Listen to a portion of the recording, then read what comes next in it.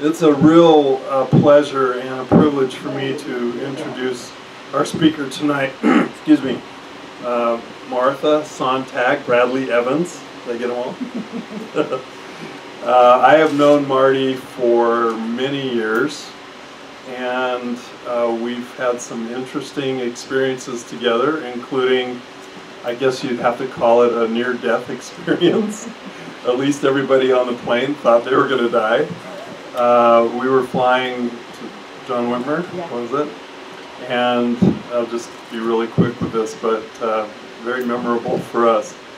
Uh, we're flying into Denver, and the whole way it's an extremely bumpy ride. The wing, the pilot can't keep the wings steady, and it was very, it was nauseating, and it was scary. And anyway, we're coming in for a landing at Denver, and we're probably, I don't know, maybe my memory isn't accurate, but it seemed like about 50 feet off the runway, and then he powers up and pulls out of the landing.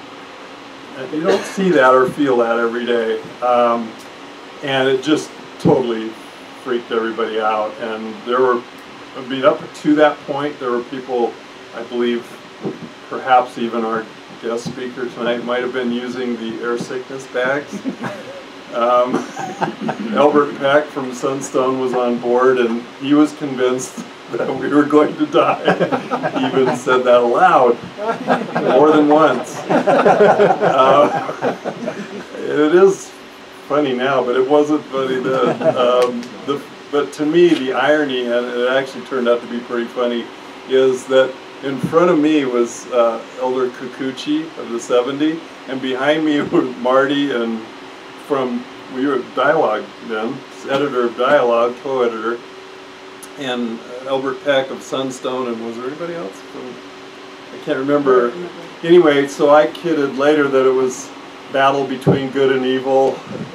you know, we got the general authority ahead of us, and we got these, you know, questionable periodical people behind me, and of course, uh, I was in the middle. Um, so it was the, the battle of good and evil, and, and good and you know light and darkness, and and uh, and so anyway, so the um, the pilot pulls all the way around and starts coming in for another landing, and uh, you could cut the tension on the plane with a knife practically. It was it was bad, and he set it down for a, a perfect landing, and just like you see in the movies, there was just this enormous applause from all the passengers who were grateful to have their lives back.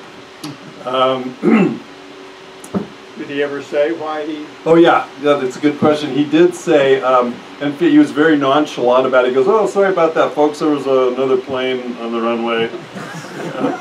oh, well, if that's all it was, I thought it was something serious. So yeah, um, I've had a few of those actually, but we won't go into that tonight.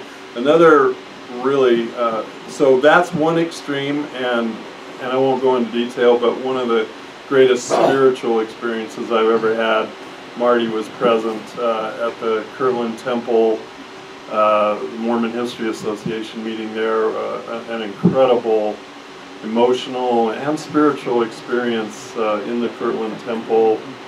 Um, so I don't even, I reminded her of that recently and um, I think it brought back memories for both of us. So I mean, I will tell you a couple of her accomplishments, um, but more importantly, besides that, I will tell you right now, um, Marty is professor in the College of Architecture and Planning, and associate vice president of academic affairs, and dean of undergraduate studies at the University of Utah. So you can actually have affairs academically. Is that? Oh, I guess I'm okay. She uh, she taught at BYU. Um, I didn't say you were. Uh, she received teaching uh, teaching excellence award there. Uh, she was president of the Mormon History Association. Was as I mentioned earlier, co-editor of Dialogue. Uh, and in 2013 received a very prestigious award, the Leonard Arrington Award for Meritorious and Distinguished Service to Mormon History from the Mormon History Association. Uh, one of her books, um, where is the, do we not have the Four Zinas anywhere? I wish we had more of them. Okay, well, anyway, that won Best Book Award. Yeah, we're victims of our own success, Marty, because some of the, your books have already sold out. Um, but uh, this, oh, there's one right there. Hold it up, Ann. The Four Zinas has won Best Book Award from the MHA. Um, we do have some of Marty's other books. Um, the one we've heard or come to hear about particularly tonight, Glorious in Persecution, Joseph Smith, American Prophet, 1839 to 1844. For those of you who do not know, this is part of a trilogy.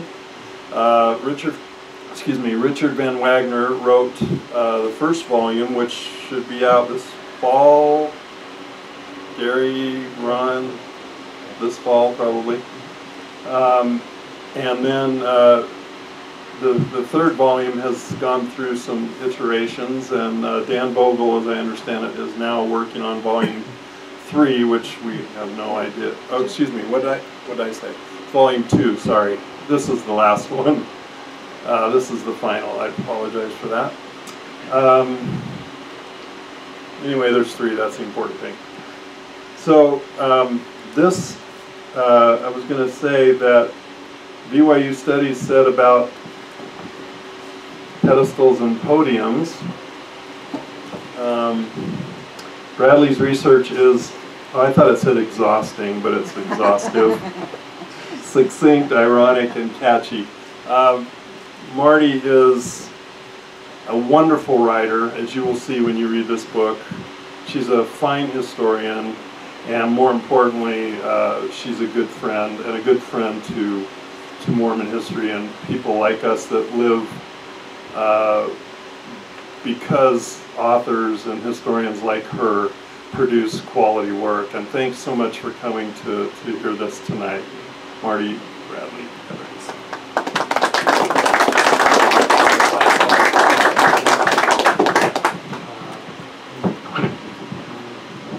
Let's test it out and see how it goes. How is it?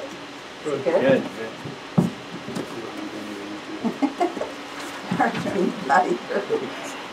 I'm so happy to be here tonight, and I have to say I feel really emotional. It's sort of like old home night to see so many longtime friends and um, colleagues in this journey over the past 20, 30 years in exploring um, meaning in the Mormon past. It, it, it means so much to me to see so many of you today. I, I especially want to thank a few of you. I am so absolutely tickled that Corinne and Earl Wunderli are here. These are just fantastic friends. Uh, Earl's own work, um, two of the best human beings I, I've known in my life. I've been so privileged to be friends with you. I'm just so happy you're here. And Connie and Carol and Dan and Gary and Ron and all of you that are here. It means so much to me that you would come out on a hot night and be here. But most of all, Katie Sexton, rock star, pal to me at work. I just can't even tell you how moved I am that you made the effort to be here tonight. It means the world to me. If anyone in this room besides Gary could tell you what a nervous Nellie I am and how anxious I was about being here tonight, this is actually the first time I've ever talked about Joseph Smith in public, which is kind of hard to believe, isn't it? Um, I have I wrote this book and did the research and, and went through the amazing editing process with Gary in a very interior way. And so much of what I'll share with you tonight and that I hope you'll enjoy as you read the book is just, it's been in my head for a really long time. And it's actually a sort of private thing to share that with you and hope that it helps you to understand maybe some of the really perplexing parts of Joseph Smith's life and make some sense out of some of the issues that that you know we, we sometimes really struggle with. Um, when I was at Mormon History Association a couple of weeks ago, I cannot even tell you how many people came up to me and said something like, uh, "Why didn't I know you were working on this book?" Or, "This isn't your thing. Why why did you write a book about Joseph Smith?" Or, "Why another book about Joseph Smith?" and just over and over again, and even really good friends that I had had as colleagues in my writing for years and years just couldn't understand why I would want to take Joseph Smith on. I've always sort of delighted in describing my research interests and my books as eclectic. And uh, those few of you who brought books, uh, boxes of my books tonight, can you know what I'm talking about? I've had a range of different things that have seized my interest over the years. And I, but when I, at, at my age, and I'm going to tell you that because it's none of your business, when I look back on my life and I think about what has most interested me or or really kept my interest over time, there is definitely a continuum. Um, I remember the time um, when I was very young, just right out of my bachelor's degree, and I heard on the news, and I was living in California, the story of the Short Creek Raid. And I still was so idealistic, you know, coming out of a history major. You think that America is this absolute set of rules and ethical behaviors and I just couldn't believe that the raid on Short Creek had happened. And from that point in time until now, which is four decades, I've wanted to understand the meaning around the experience of those of us who practice plural marriage. And so in part, this book, Glorious in Persecution, is an effort to figure out the context um, where all of that began. But you must know it is way, way more than that. That is a piece of it, it's certainly a layer of it, but it's not, that's not the only thing that this book is about. I've written this account of Joseph Smith's biography spanning his life as if it were a series of layers. And I've always, regardless of whether I'm talking about cities or neighborhoods or a person's life, I've always been interested in the sort of layered nature of those things that we study. And if you think about it with Joseph's life, there were some things that were obvious to everyone that you could just see. You could see what he did in public, you could see what he said in public. And then below that was a layer of the experiences that played out in a private world that might have played out with his family or with his closest friends, but it was definitely below, it was, it, it was beneath the public layer. And then there was a layer of events and practices and statements that were intentionally obscured. So they were not only beyond beyond view, but they were intentionally obscured for some particular reason. And what I argue in this book is that ritual was many times the reason that much of his life was obscured from view because it was a way of protecting ritual. And so those, those layers, um, moving from the most public to the most subterranean is a way of understanding his life.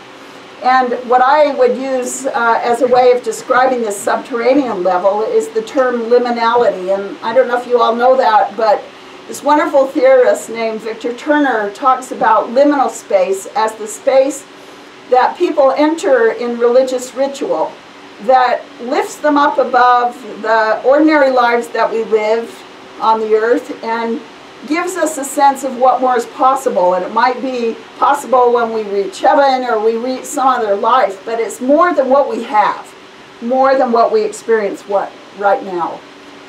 And there are many themes in this book that I develop, um, but one that I thought I would talk to, to you about tonight is what I would call the prophet narrative.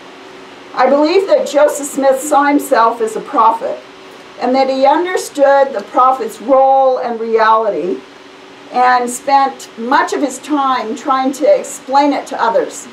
He, if you read his sermons, if you listen to what he said, if you read what his clerks wrote about him, he's many times trying to explain himself. He's this explanatory narrative that he develops is, is about him trying to explain to others what it meant to be a prophet, but also to understand himself what that meant. Um, years and years ago, I was teaching a service learning class at the University of Utah, and I used this wonderful book called The Soul of the Citizen by Paul Loeb. And he talked about a theory of narrative that he called explanatory styles. And, and the idea is that the way we talk about ourselves reveals traces of who we think we are or who we think we ought to be.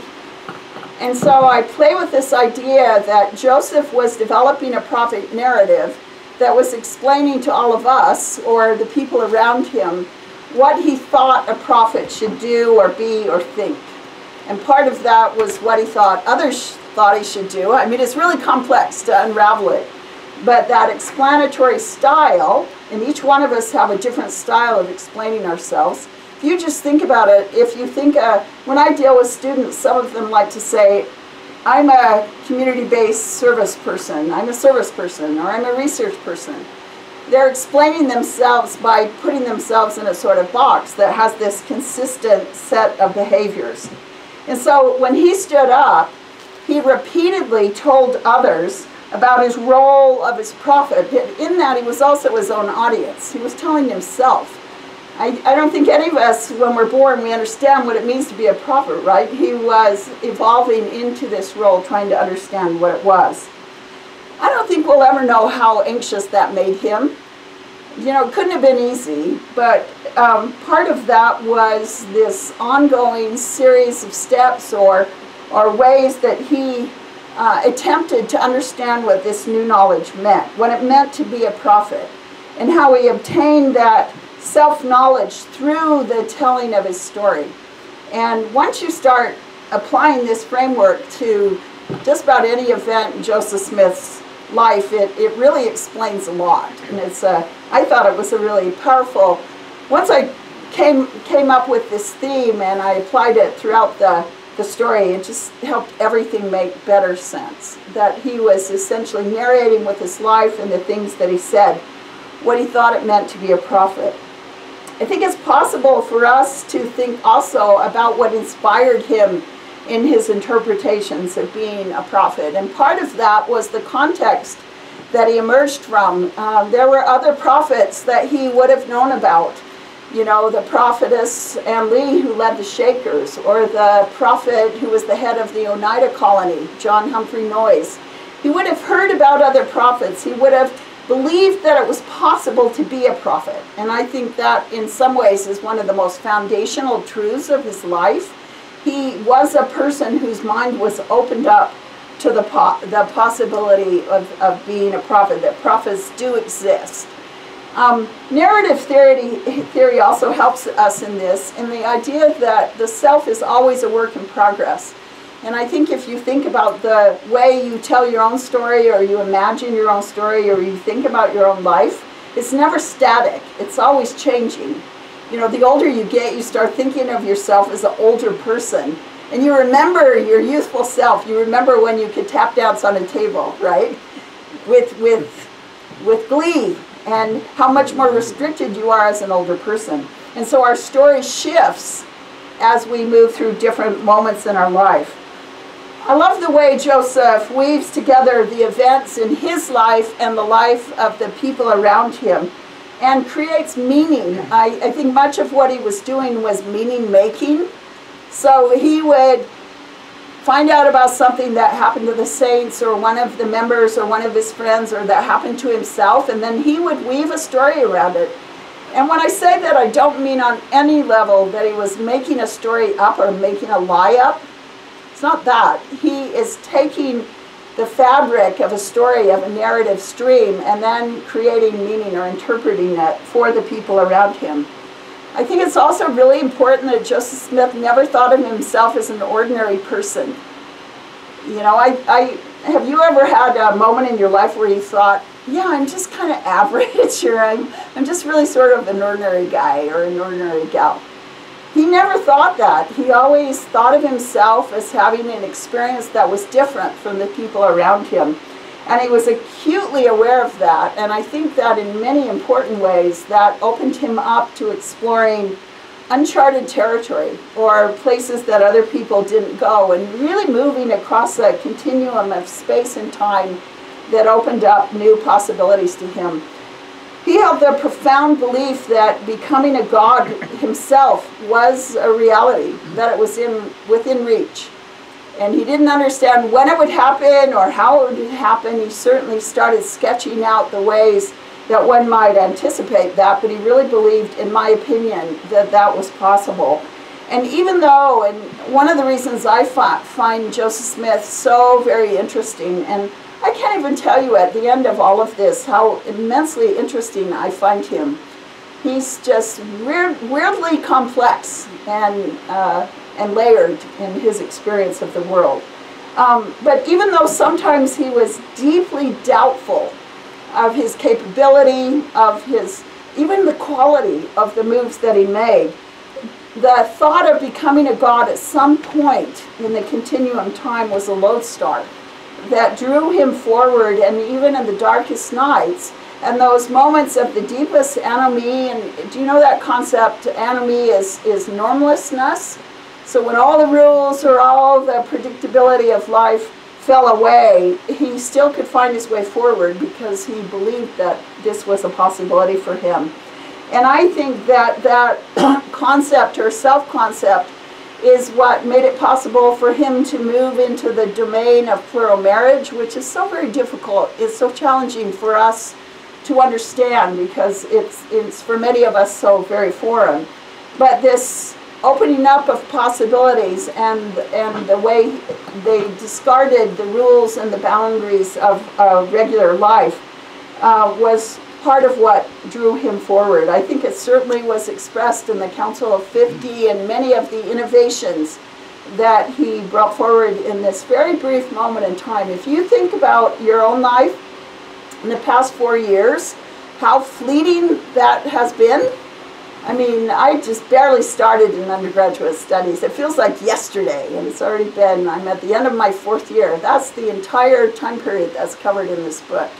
And is so incredibly packed with really important doctrinal changes and changes in terms of practices, and certainly the way he talks about his experience and the experience of others. Um, another really important part of the story, and again, something that I just found so profoundly interesting and moving, was everything that Joseph experienced. Or have any of you ever read The Times and Seasons or The Millennial Stars? It's so interesting because it tells the story of Nauvoo, and then it'll tell you about some earthquake in Guatemala. I mean, it's always, there's always some mention of some terrible event somewhere else in the world. And I think that's because Joseph saw religious significance, apocalyptic significance in every example of that throughout the world. It, it was proof positive of this, this sort of framework around the world that he was developed. And certainly every instance of persecution, and this is of course the most central theme in this book, was something that he interpreted as being significant as a sort of testing ground for the viability of this Mormon vision of heaven and the ideal of community life that they had. And the work that they were doing was work that they were chosen to do in this interpretive framework that he developed in the prophetic uh, narrative. It was certainly the fulfillment of prophecy and the Doctrine and Covenants, and if you remember, that's the book of Revelations that he gathers of his own work. Um, but he sees a continuity and he reminds the Mormons of that. The other really important theme that runs through this time period is Missouri. And I remember when I first dove into this book, I had no idea. Um, you know, when I wrote the Four Zinas, I really hated writing about when they were in Missouri because it's, it's just really messy. It's a really messy time period. And you know you never knew for sure if they were in Ohio and Missouri or if they're going forward or backwards. And I, I, I just I didn't love Missouri. But and so here I I sign on to do Nauvoo and I think oh we're done with Missouri and I don't have to worry about Missouri but Missouri is everywhere in terms of uh, shaping the direction of Nauvoo and it's really Joseph's response and continuing obsession to get vengeance and retribution in terms of the persecution that they experienced in Missouri that drove pretty much everything in terms of the movement forward in, in, in Nauvoo. Uh, Missouri certainly, and the theme of persecution shaped Joseph's prophet, prophethood in Nauvoo and his movement towards the last parts of his life. Um, I think that uh, efforts to try and understand Joseph's life in Nauvoo are really complicated by his own record, and in part because he's always surrounded by scribes. And so you, you hardly ever see Joseph's own writing about a particular event. It's almost always a scribe writing about something he said or scribe writing about a sermon. Um, and so if you think about it, there's a layer of interpretation around him always and in my mind, that's actually more interesting because it's, it's a way of thinking about the way others heard the prophet narrative. They were interpreting the significance of what he was saying was significant uh, through their own emphasis and the writing that they recorded about everything that he did. I think Joseph, more than anyone else of his generation, anticipated the future. He imagined us here today thinking and talking about his life. He knew that what he was doing was significant and that the saga of the Mormon people would be told over and over again in a way that would be um, needed to be meaningful. It, it would become a religious drama, a religious narrative that would be significant in the lives of the people that would follow behind him. And I have to say, miracles and disasters and illness and marriages and parties, I mean, all of it is sort of gets equal time on the stage in this narrative. You think if you think about the uniqueness of the story that he tell, he told with his life, it really starts with the first vision, doesn't it? That that was one of the first stories that was totally unique. But then once it gets to Nauvoo, it's the story of Missouri persecution, which was important to his own personal identity, but then also the identity of the group. And I have to say that the core narrative thread that runs through at least my telling of Joseph Smith's story, and that's all this book is, it's just me putting my head to the subject of Joseph Smith in Nauvoo, is this the uh, significance of persecution in the life of a single individual and the life of a community of people. That they were able to endure it, they were in, able to resist it, that eventually they were able to flee beyond it. And I think Joseph Smith was al- always really aware of this. There's a wonderful uh, quote from September 1st, 1842, where he says, As for the perils which I am called to pass through, they seem but a small thing to me, as the envy and wrath of man have been my common lot all, my, all the days of my life. And for what cause it seems mysterious, unless I was ordained from before the foundation of the world, for some good end or bad, but nevertheless, and this is the part I love, deep water is what I am wont to swim in. It has become second nature to me. And so that's that's sort of the way he interpreted his own experience. So the stories Joseph told of Missouri, of Kirtland, of heaven, uh, explain the meaning of his life as a prophet and his community as a persecuted and martyred people. And again, none of it was was surprising. It was predicted. It was in Scripture. It was the performance of Revelation that was playing out in front of his people.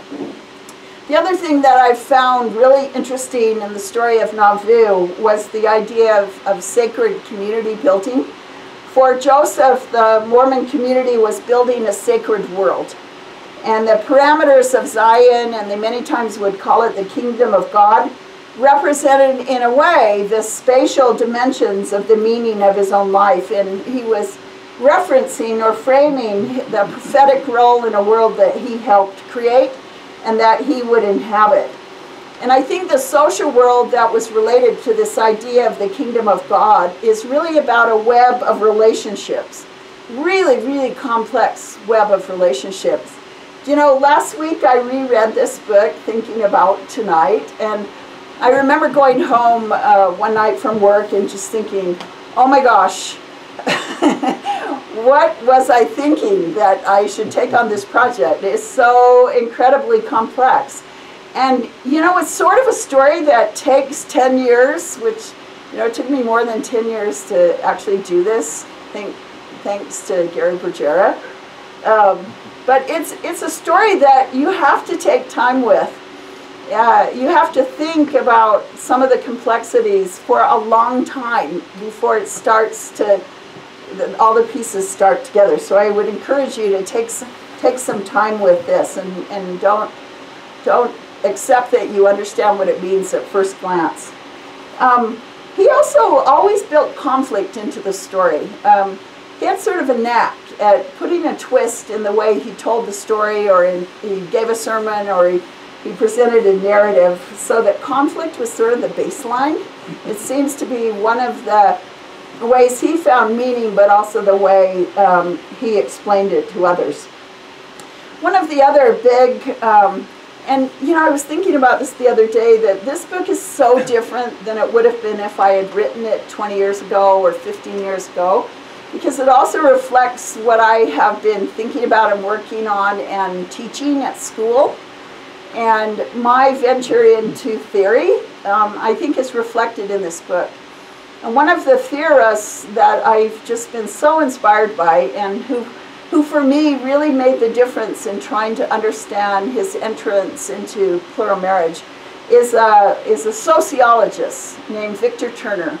And Lindsay, you should read Victor Turner, all the Victor Turner you can get your hands on. He writes about ritual and um, this idea of liminality and an, another concept com, uh, called communitas, it really helps you think about uh, the ritual around plural marriage, not only as the ritual where a person is married to another person, but the larger context, the sacred world that Joseph Smith creates around plural marriage that that um, supported it, that kept it hidden, that helped explain it to the different persons who entered it.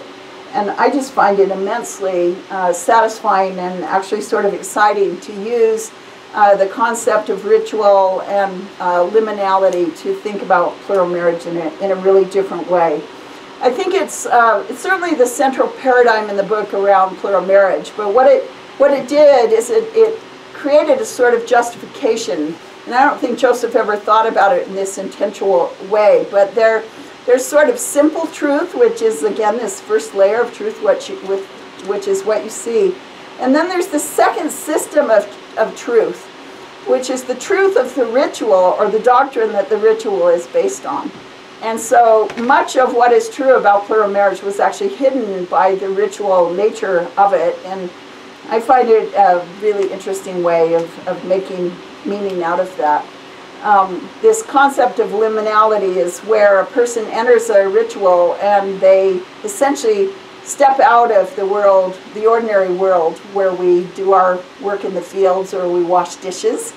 Um, and you might go to the temple and do endowments, or you enter into some sort of spiritual connection with others. And it makes you think that everything is possible because you did that. It's a, it's a different sort of state. And he uses the term liminality and anomie um, to explain that sort of difference. And so I think it's a really helpful way of thinking about religious ritual, whether it's plural marriage or the temple endowment, the second anointing, all of that fits really nicely into this larger analysis of ritual. Um, I think that it was, uh, I think ritual was key to everything in Nauvoo. I think it was through ritual that Joseph Smith brought his followers to a transformative state. And in that transformative state, he promised them so much. You know, he said to them, you can become gods and goddesses in, in your future lives if you do this and if you do this and you remain faithful. And that's a really amazing, heady promise, right? And that ritual became a sort of threshold that was an entrance point where they moved from one way of being into the into another way of being. Um, Joseph kept secrets from just about everyone. He kept secrets from the public. He kept secrets from some of his wives. He kept secrets from Emma. He kept secrets from some of his most trusted um, fellow uh, uh, general authorities. And their entrance into the secret world of ritual was staged in a way, and it became a sort of test of loyalty and certainly your proximity to the core truth of that ritual was something that reflected how much um, uh, Joseph trusted you. I think another really uh, poignant moment, and if I had chosen the image for the cover, it would have been Joseph teaching at the stand. I, I think that his sermons in the field outside of the temple were so incredibly important uh, and powerful.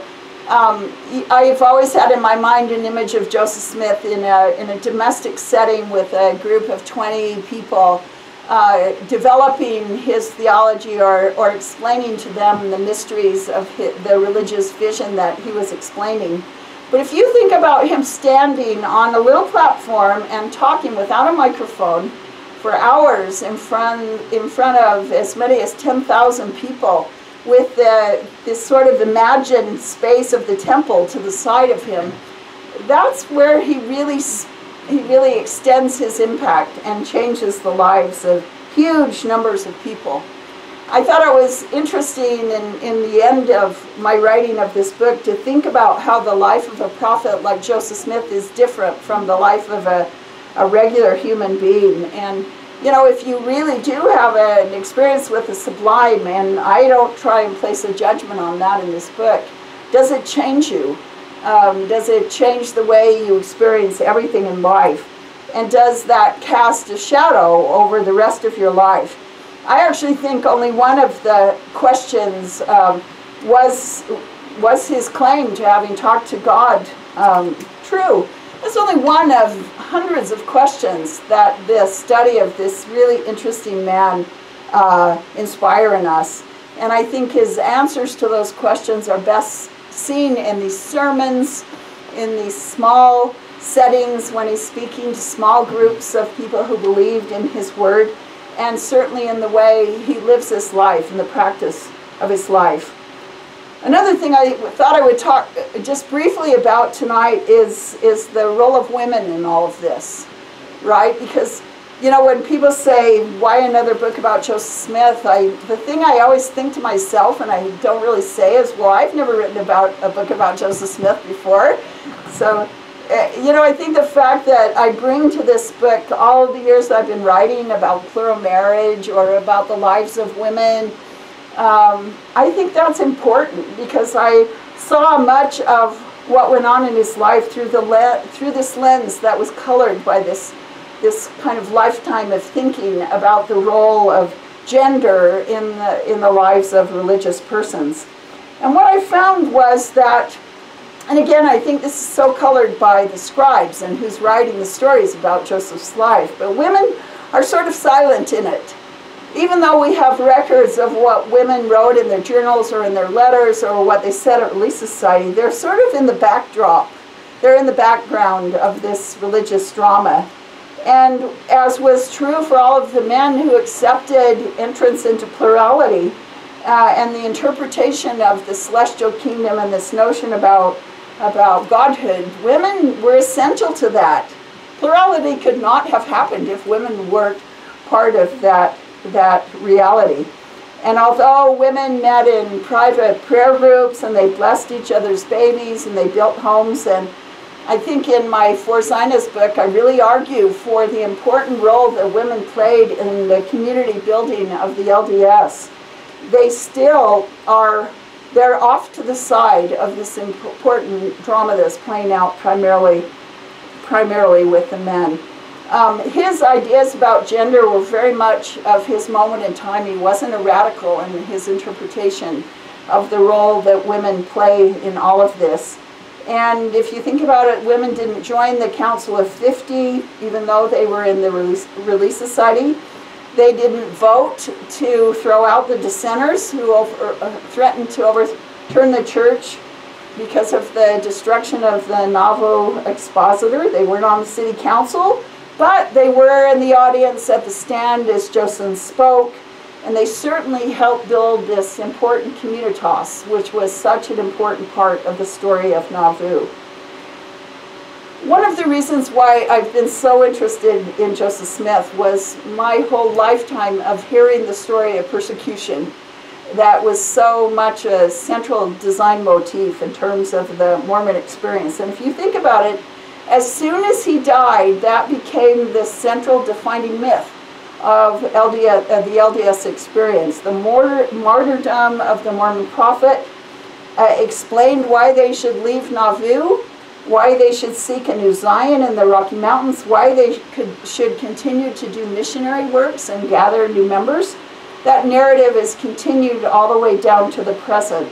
And whether one believes that Joseph Smith was a prophet, um, the people who followed him were filled with incredibly potent reality orienting sense of what that meant. And to them, it meant that he had communed with God, that his mind and heart, his whole being had filled with what he interpreted to be answers to prayers. And with those understandings, for him came this overwhelming responsibility to turn his life to this Zion building enterprise. And he did that all the way down to his death. And if you think about it, the church that he founded continued to use this prophet's narrative to inspire faith and devotion and a willingness to follow his description of the true path to heaven and what constituted righteous living. And I think the story, this persecution narrative is where LDS um, identity begins and certainly where it might end. Just because he was a prophet, uh, if you buy this way of thinking, it doesn't mean his life was easy. He struggled with big conflicts, and part of that was because he was a human being and he was flawed. Um, he sometimes exhibited intensely conflicted human behavior. He was, on the one hand, a really compelling creative genius, as has been argued in many places, but he also messed up on occasion and had to deal with the profound implications or consequences of those mistakes. But through it all, he believed that God was and that he could be God himself. And I think there will be an endless debate over whether Joseph actually saw God or when, but I believe that Joseph believed he was a prophet, that he spent his entire life, all the way down to the very last hours of his life, trying to figure out what the heck that meant. Um, certainly, other charismatic figures sketched out a dramatic worldview, a religious vision to, uh, that was parallel with him. But if you think about it, all those other communal experiences went away, they failed. And Joseph Smith's is the only one that continues down to the present. And I think that's largely because of this really compelling prophet narrative that he had articulated with his life. I think it gives the Mormon people a course of action, reminding them to turn an eye towards heaven and a desire for godhood. Certainly create a really compelling idea about building a holy city and a sanctified community on life, and I think so many of those things are themes that run through the Mormon experience. Another thing, I wish I had uh, another 45 minutes to talk to you about this, but I, I find so interesting the role of God in all this that, you know, Joseph's telling this experience about what it, he thinks it means to be a prophet, but God's a player in that. God is a personality. He's a, he's a person in, he's a figure in this prophet narrative. And I think Joseph's desire pulled him towards God and made it impossible for him to not try to understand, to search for meaning, to search for the presence of this uh, throughout all of his life. And I actually think that fear was part of that, that the fear of all, the alternative of being denied, that possibility was also an activator as, of him as well. And I think that the Joseph's God became meaningful in the context of the story of the Latter-day Saints and was manifested as they moved into the Rocky Mountains across the Mississippi River and where they settled where other people had not. I think that um, the buildings that they built in Nauvoo were just shells without the practice that was inspired by this kind of belief. The ritual that they performed in homes and groves and uh, together in public and private spaces made everything that they did sacred and dedicated it to God. And again, Joseph spent his whole life through these kinds of experiences trying to figure out what it meant to be a prophet. So, in conclusion, what I believe I have contributed to the many books about Joseph Smith and his experience in Nauvoo is a fresh interpretation of the meaning of his experience, of his meaning-making enterprise in developing a prophet narrative, an articulation of the Mormon experience of persecution, the liminality of Nauvoo ritual that opened up the possibilities inherent in plural marriage and the temple endowment and the political kingdom of God, and certainly in the Mormon expansion of the ideal of heaven, the potential of an individual for godhood, and a defining narrative powerful enough to carry the church to the present day. So, I guess this is where I open up for questions. Thank you. Where did you go? Oh, there you are. Just go ahead and field them. Anyone have a question? Yes. Uh, so people think of, uh, you mentioned Freemasonry, they immediately think of the temple endowment. But beyond that, do you see influence from Freemasonry on Joseph Smith and ritual and secrecy and other aspects? What, what do you see? Sure. I, I think that the 1840s and the United States are such an interesting time period to study because there is this widespread um, interest in, in association in private societies that have rituals that remind the members of the group um, how to live, whether it's righteous or good, ethical, moral lives. And I see Freemasonry as an expression of the same thing that plays out in the temple. Um, it's not at all surprising that the visual language, the symbolic language, is sometimes similar and that some of the ritual or the practices look look very similar because it's, it's part of the cultural language of that moment in time.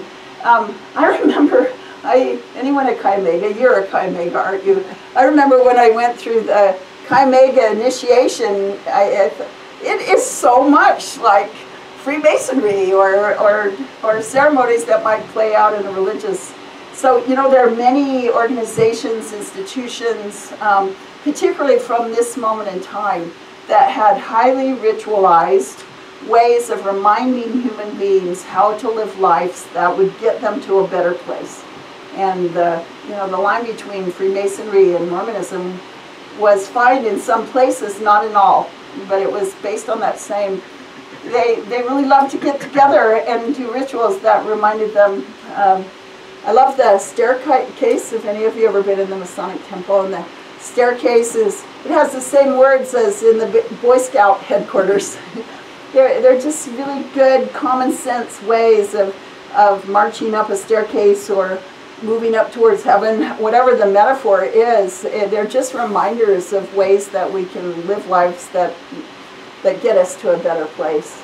So, good, good question. It's one of the most fascinating parts of studying the 1840s, I think. There's so much of that going on throughout the country. Yes, Dan.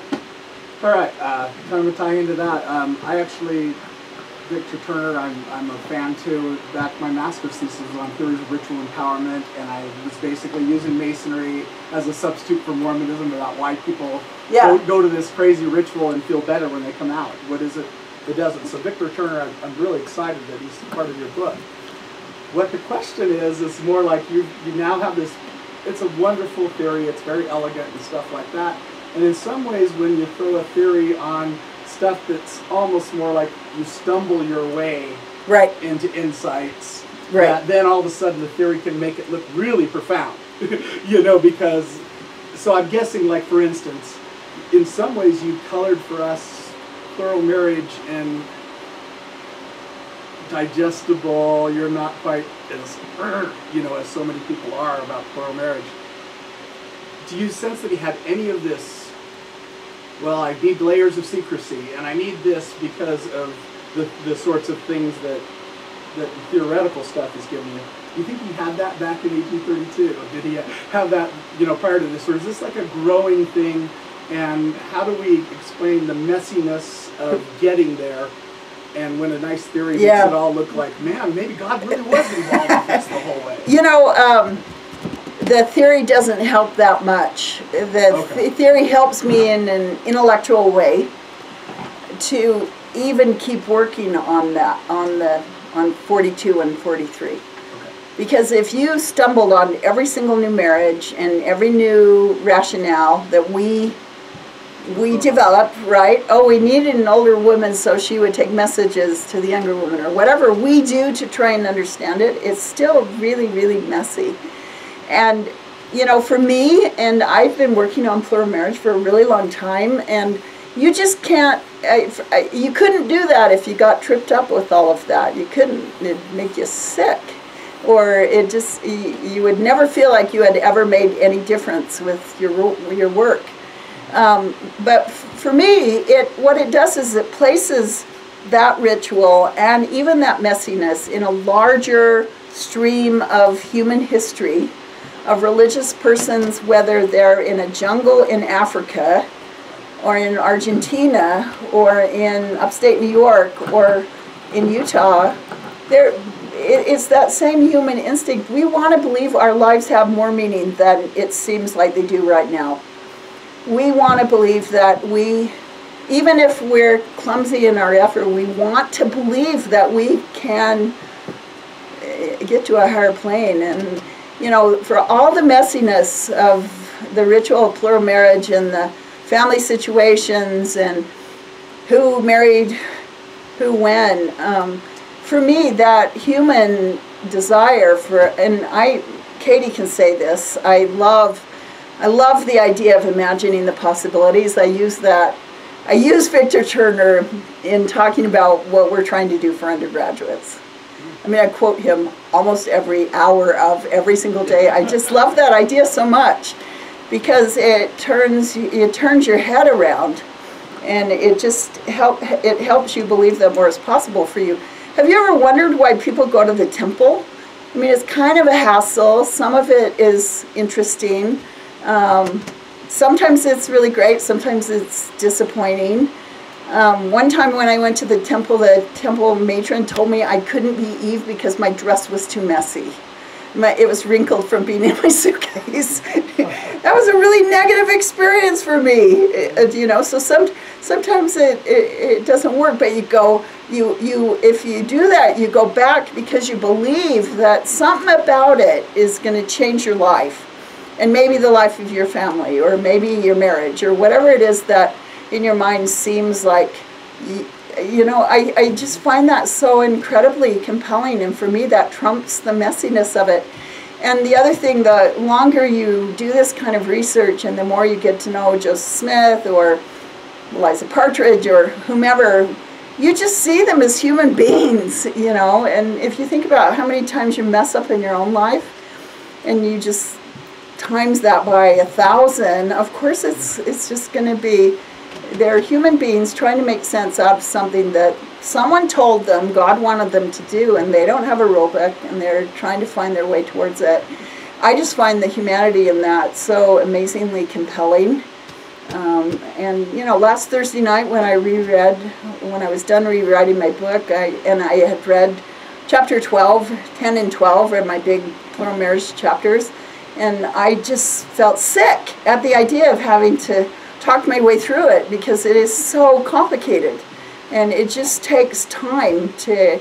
And for me, I don't think I'm hiding behind theory, and I don't think I'm implying that theory cleans it up because it's it's just human beings trying to figure out how to get to a point where their lives become more than what they have. I find that compelling. Yes? A couple questions. One, just uh, curious, in Nauvoo, were there many people that weren't members of the church Sure. at that time? Yeah. There, uh, Joseph Jackson is a prominent um, person who came in and and tried to benefit by association with some of the LDS. But yeah, I mean, they're a majority population, but there are people traveling through um, who come and try to make money off of them. Um, yeah, yeah. Good question. And then uh, in your um, in your studies and your research, is there anything that stands out that really uh, surprised you in what you learned, or is it all just kind of you know, um, rehashed or? I and again, I thought this so many times along the way, but there are some points in the book where I lay out a day. Like you know, we did this meeting where they talked about Oregon, and then and then he performed a marriage, and then he dealt with some thorny political issue, and then you know, I just I I I, I guess I was really stunned at how difficult every single day of his life in that time period must have been. And I actually, I think it's one of the reasons why I really love the stories when there are lots of, I mean, there's so many, the people who are around him wrote about their experience with him, and we have many of those records. But I love the ones where he gets down and wrestles with little kids, or he gets dirty, or he makes some goofy joke or something, because the pressure of that daily grind of his life is it's it's extraordinary and the fact that he kept articulating this vision and this optimism and this belief um, I, I think it says so much of, about what an extraordinary human being he was you know regardless of where you fall in thinking about him he, he was really something and I, I, just- I, I- it, you know, it made him so much more interesting to see the complexity of his life. Yeah.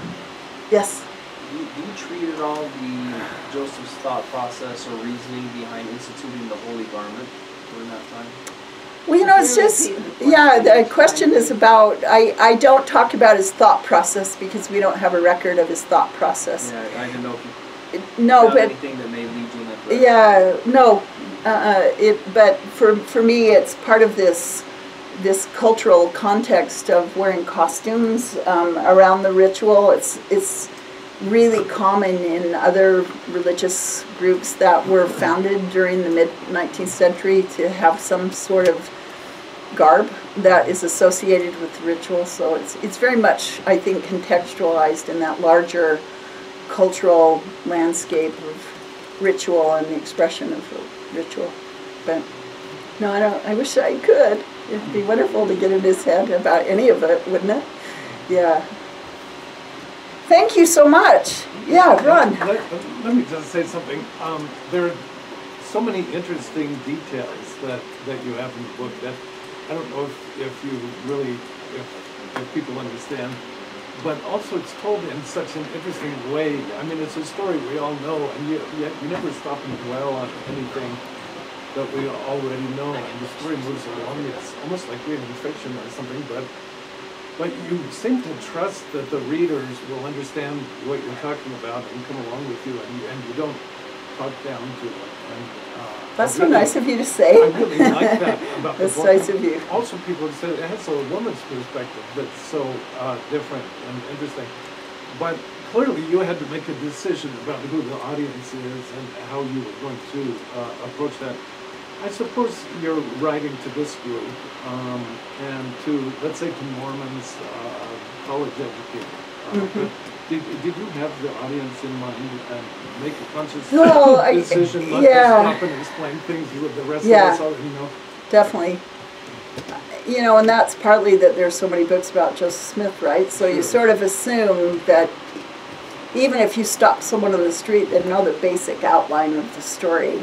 And for all of us, we've read books about plural marriage and we've read, read books about the martyrdom and, you know, so much of that is just sort of assumed knowledge. And so I think the interpretation of that, and I love that you think I told the story along with that. Because I sometimes worried that I was working so hard to find an interpretive framework for me to be able to push it.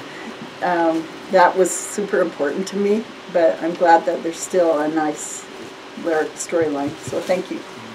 Marty, can you tell a little bit about the cover, the picture on the cover? Sorry, Gary, will you tell a little bit about the color, the cover picture? The- Jason here? Yeah, I'm right here. Jason. Jason is the designer. Isn't it beautiful paper? So the cover image, um, you know, th- there's kind of a limit to what images exist currently of Joseph Smith. I wanted something that was a little more period, not something that we were paying an illustrator to create, you know. Uh, and so I went off the title. Um, a good cover sells you know, the title makes it look interesting, but kind of has this deep level of communication. So I was browsing for images that haven't been used by, you know, Bushman and about every book about Joseph Smith. They all, you know, all the images were used up. So I started looking for something that hadn't been used. And I went to the Library of Congress and found this uh, lithograph of, uh, you know, the kind of uh, death of Joseph Smith. And it was kind of this neoclassical recompose of Joseph laying there dying with people over him ready to cut his head off. You know, and it just had so much drama and just, you know, kind of all this persecution came final moment. Yeah, And so that's kind of why we did that. nicely done. Thank you so much.